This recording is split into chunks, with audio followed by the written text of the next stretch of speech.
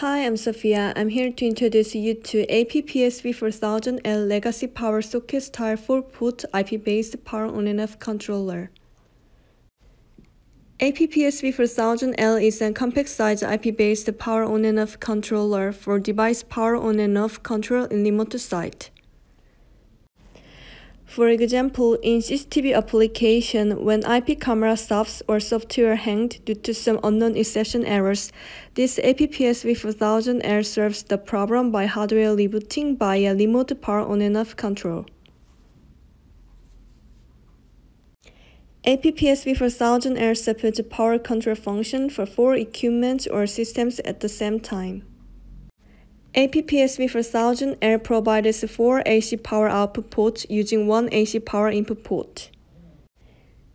And the 5V SMPS power for CPU controller board is internally built in. And the AP-PSB 4000L is designed to be applied in various environments by supporting I2C interface, fan control interface, and alarm interface on the rear part. AP-PSB 4000L supports Smart Web Manager for individual IP remote power controller operation management. And AP-PSB 4000L supports APSPM integrated management software for managing large sites and multiple or tens of IP remote power controls optionally.